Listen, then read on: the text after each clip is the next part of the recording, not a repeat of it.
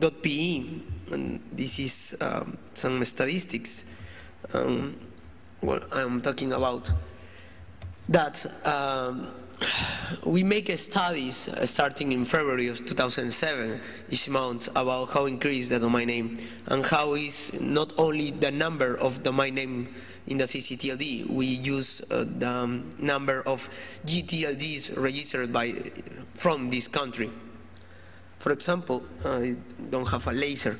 You have this on the relation from uh, February 2007 and October of 2008.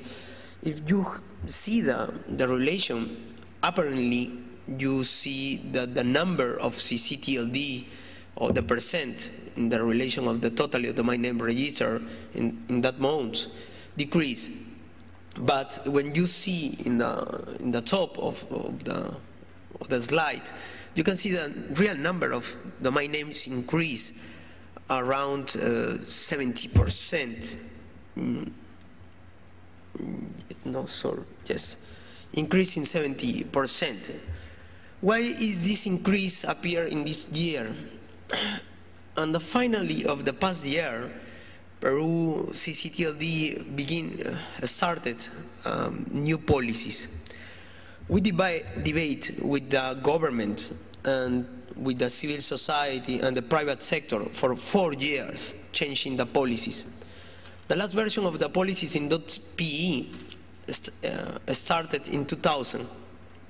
In 2004, the discussion beginning to say why we don't know why we don't starting a new, more quickly process, an online process with payment online, with EPP system, with uh, IDNs, with second level direct reg registration, and other issues. The community uh, need to discuss, but in the case of .pe, the CCTLD, our uh, civil society, couldn't take uh, the comments of the others uh, and walking alone, but prefer to discuss these new policies with the government and the community. And in Peru was created the National Commission for Domain Names. That National Commission is not inside the CCTLD and not control the CCTLD. That commission only give policies and give advice to better registration for the .pe. The result of this discussion, of four years of discussion, is December of the past year. And this increase, and the increase is not only one moment, it's continually in the time. So now the, the CCTLD.pe is one of the more active and increase constantly, monthly by month, month by month uh, in the region. And the experience of using EPP and the experience of uh, second level registration create that in Peru now is the place to make the workshops for LAC-TLD. Not only um, make a new system for registration or use a new system, they create a, um, a school for helping to the another CCTLDs in the region. Like in commercial issues, for example, .mx is the regional school for us. We have um, practice time. The member from one CCTLD moved to the another CCTLD for two, three weeks with uh, to learning how doing some things.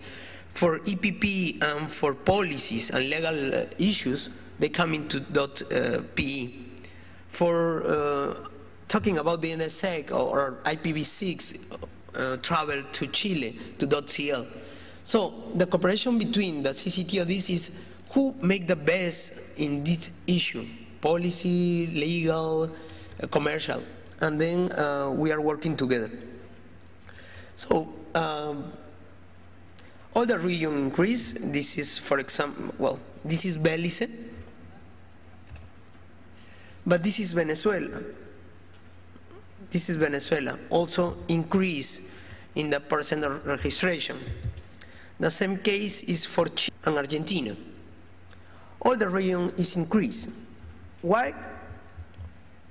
We believe because uh, increase the quantity of the users, of internet users in the region. Also, we believe that our CCTLDs with automatic